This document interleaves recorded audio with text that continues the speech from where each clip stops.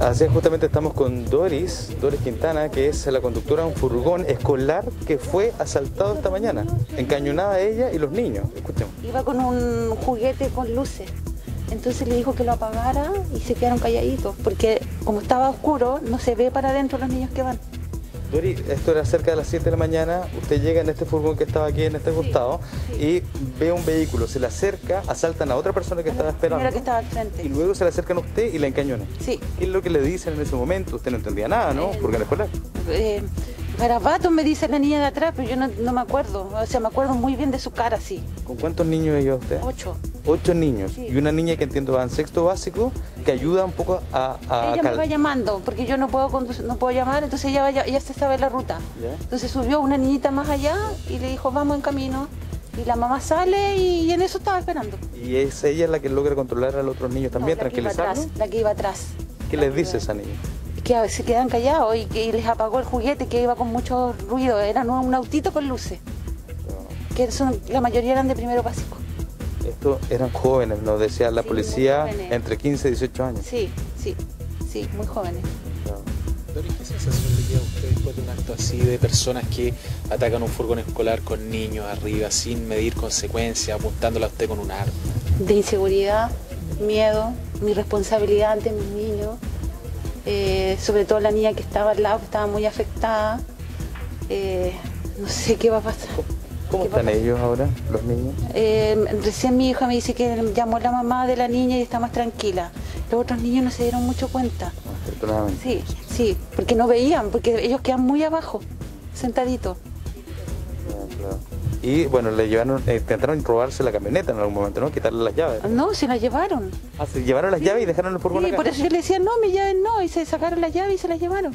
¿Cómo se entiende entonces para usted, bajo su lógica, para nosotros también nos cuesta entender, porque entiendo que le robaron hasta la mochila Sí. a una de las niñas, una mochila que a lo mejor tenía su cuaderno, colación. Sí, sí, no sé. Yo creo que estaban drogados, porque su, su mirada era como muy extraña.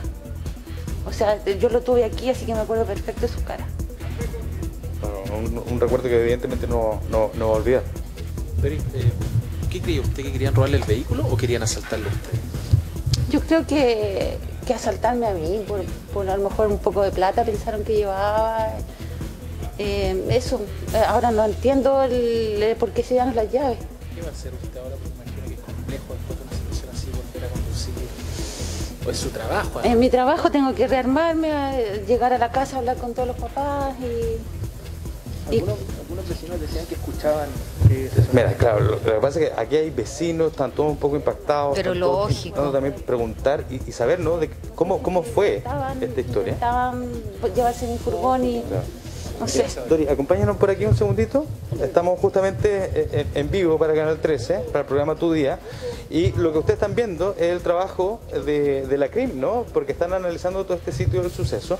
Y usted llega hasta acá, acompáñame por acá, Dori, por favor. Usted llega hasta acá, estaciona donde mismo está el furgón con los intermitentes prendidos. Sí, Y en ese momento hay otra persona que está acá, una mujer, entiendo, que la asaltan. ahí, fuera de su casa. tenemos un video, de hecho, tenemos un video justamente que relata todo eso. Y eh, se acercan entonces hasta usted, la están apuntando y por el otro lado se acercan otros dos sujetos, entiendo. Siempre por mi puerta. Siempre por su puerta. Siempre por mi puerta. ¿ya? ¿Y qué es lo que en ese momento hacen con los niños? Porque eso es lo que uno no entiende. Como, Ellos, eh, él abrió mi puerta, me tiró mi banano y se abalanzó a sacar las llaves. Yo le dije que no. Y, y ahí las tiró y miró a la niña de al lado y le arrebató la mochila. la mochila, que eso es Y lo que la niña, sí, y se la arrebató. ¿Cuál fue la reacción de la niña en ese momento? Llorar. Pobrecita. Que realmente es algo inintendible lo que ocurre acá en la comuna de Puente Alto. Sí, no, no entiendo cuál era el fin. Yo creo que estaban drogados y eran hartos. Y aprovecharon la oportunidad, claro. Oiga, Dori, la voy a dejar, muchas gracias, ¿eh? muy amable por su testimonio. Sé que además está muy impactada con lo que, con lo que viene, y con lo que pasó y con lo que viene. Y nosotros le vamos a estar entregando estos antecedentes Ya. de una historia policial que tiene como, evidentemente, como protagonista a niños muy pequeños. Imagínense una niña de sexto básico tratando de tranquilizar a su compañero dentro del furgón. Sí, oye, eh, Rodrigo, esto ya no es la primera vez que ocurre. Nos escandalizamos tanto la primera vez que fue en Lampa. Hace cuestión de meses y claro, por la vulnerabilidad y, y resulta Claro. que estos furgones están marcados, están señalizados, lo vemos ahí mientras trabaja la policía, ¿no? Eh, Dice escolar, entonces como que uno dice, todo tiene un límite, hay un antes y un después y esto claramente no puede seguir Claro. pasando. Volvemos contigo en cualquier minuto. Gracias por este reporte, Rodrigo.